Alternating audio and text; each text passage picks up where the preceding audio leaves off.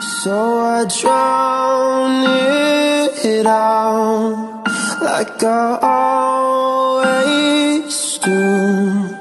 Dancing through our house with the gold